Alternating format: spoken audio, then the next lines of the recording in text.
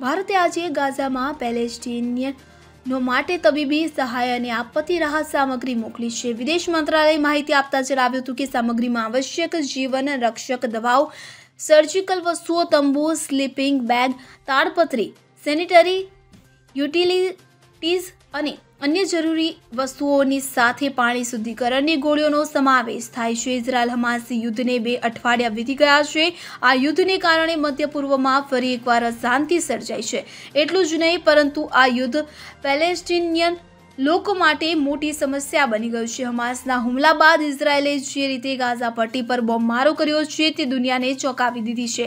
Israel સાથેના યુદ્ધમાં બંને બાજુએ હજારો લોકોના જીવ લીધા છે.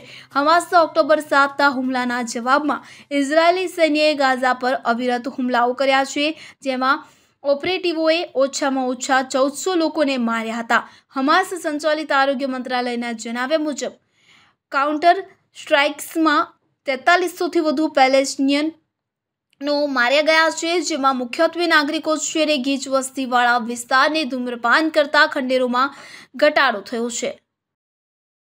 Bureau report, CN twenty four news. હવે જુઓ, દેશ દુનિયાની તમામ ખબરો તમારી આંગળીના ટેરવે. ઉઠાવો મોબાઈલ અને ગૂગલ પ્લે સ્ટોર પરથી ડાઉનલોડ કરો અમારી CN twenty four news mobile app.